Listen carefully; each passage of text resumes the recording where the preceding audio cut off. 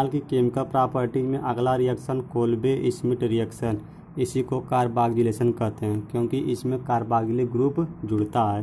देखिए क्या होता है।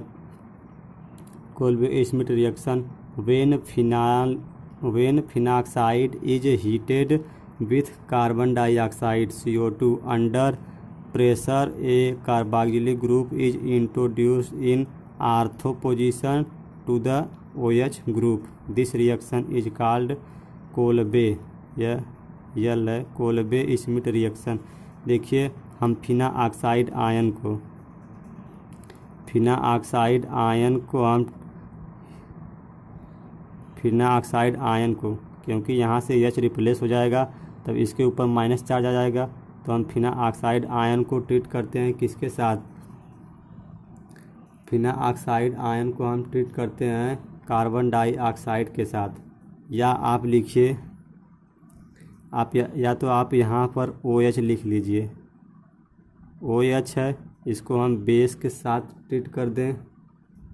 N A O H N A O H है तो यह मोर इलेक्ट्रोनिगेटिव ऑक्सीजन है तो इसका इलेक्ट्रॉन ले लेगा तो यह एच प्लस के रूप में बाहर आएगा और यह इसके साथ जाकर एच टू ओ के रूप में बाहर। इसको माइनस एच टू ओ और यह अन्य जाकर इसके साथ जुड़ जाएगा।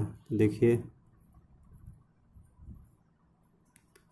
O N A. N A पर प्लस, ओ माइनस। अब देखिए, अब इसको हम कार्बन डाइऑक्साइड यानी सी ओ टू के साथ ट्रीट कर दें। सी ओ टू के साथ ट्रीट कर दें और इसकी एसिडिक हाइड्रोलिसिस करा दें। इसकी एसिडिक हाइड्रोलिसिस करा दें, तब हमको मिल जाता है हाइड्रोलिसिस करा दें तब हमको मिल जाता है। यह सैलिसिलिक एसिड मिलता है। C double bond O H यह सैलिसिलिक एसिड मिलता है। सैलिस सिलिक एसिड, यह कैसे बना, अब इसको हम मैकनीज में देखेंगे। तो देखिए मैकनीज में इसकी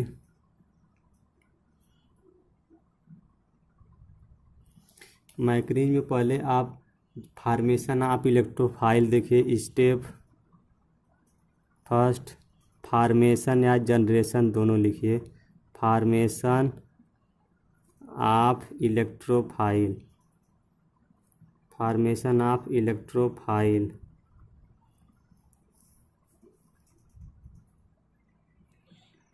मैकनी में देखिए, हम पहले फिनाल लेते हैं।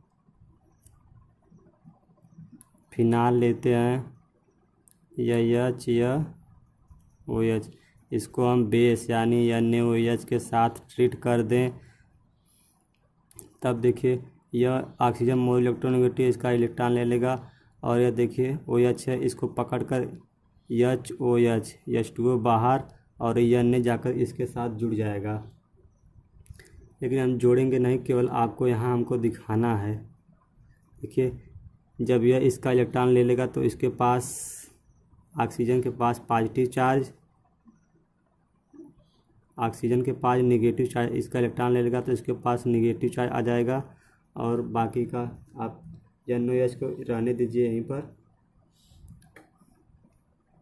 अब देखिए, यहाँ पर यदि हम इस निगेटिव को यहाँ पर लाएँ और इसको यहाँ पर लाएँ तो यहाँ पर जब यह आएगा तो यहाँ पर देखिए डब जब ये यहाँ पर आएगा तो यहाँ डबल बाड आ जाएगा और यह वाला यहाँ आएगा तो यहाँ पर इलेक्ट्रॉन की अधिकता हो जाएगी।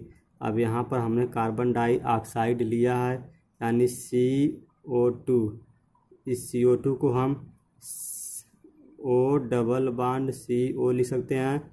यह जो होता है, एसिड का बिहेवियर रखता है। एसिड होता है माने इसके पास इलेक्ट्रॉन की कमी होती है। तब देखिए, यह ऑक्सीजन मोर इलेक्ट्रोनिगेटिव है। जब ये इलेक्ट्रॉन लेगा तो इसके ऊपर पॉजिटिव आ जाएगा और यहाँ देखिए आर्थों पर इसके इलेक्ट्रॉन की अधिकता, तब यह यहाँ अटैक करेगा। देखिए,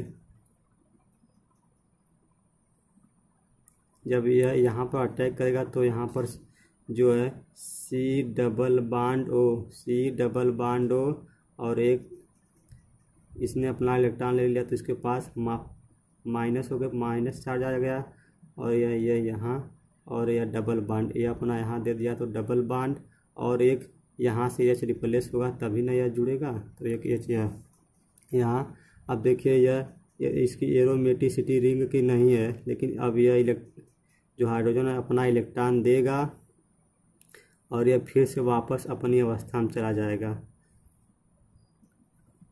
तब देखिए, जो, अब देखिए इसके बाद जब यह चला जाएगा तो यहाँ पर डबल बांड आ गया इसके पास निगेटिव चार्ज है।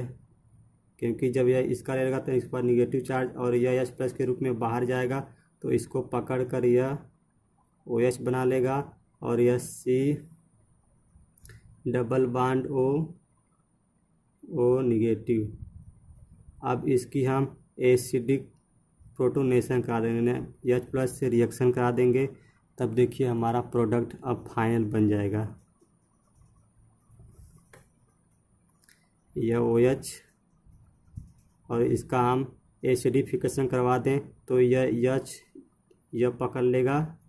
और यहाँ पर देखिए C double bond O O H हो गया ना सी ओ ओ एच हमको देखिए हमारा प्रोडक्ट मिल गया salicylic C O O H और प्रोडक्ट हमारा सी ओ एच इसी को सैलिसिलिक एसिड कहते हैं।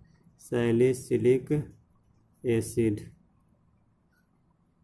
चलिए अगले रिएक्शन में हम आपको अगला रिएक्शन बताएँगे अगली वीडियो में।